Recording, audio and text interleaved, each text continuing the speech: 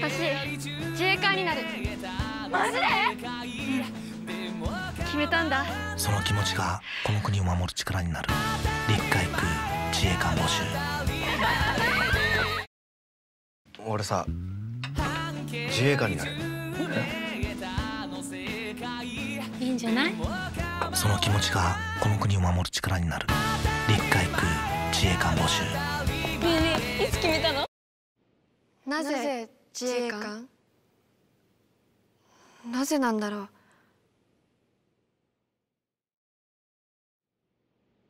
地震とか大雨とか人が本当に困ってる時に力になれるってかっこいいって思った。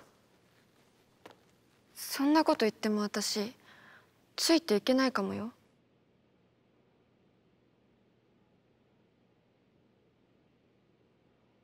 それで成長できるところもあると思うし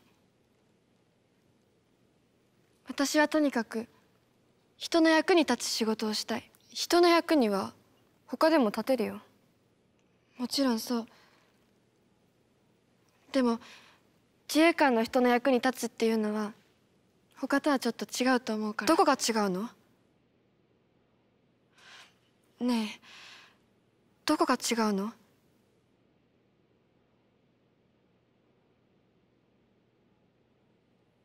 それが知りたい。自衛官になって人の役に立つってどういうことか。だから私は自衛官になる。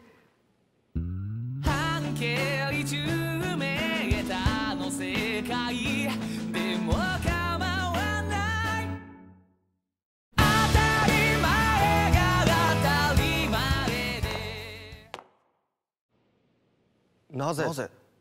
自衛官。なぜなんだろう？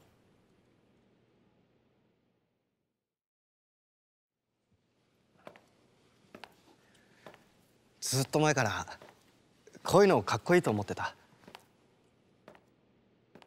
でもさかっこいいなんて不純じゃない？国を守るわけでしょ？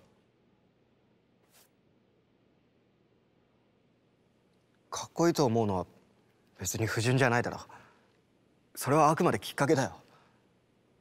国を守るとか。平和に暮らす人々の毎日を守るとか。そんな仕事ここにしかないって思ってる。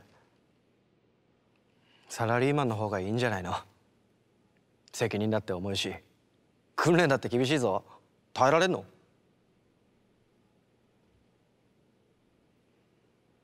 わからない。わかんないじゃん。でも俺は強い人間になりたい。そしてその強さを誰かのために使える人間になりたい。だから俺は自衛官になる。半径10ーの世界。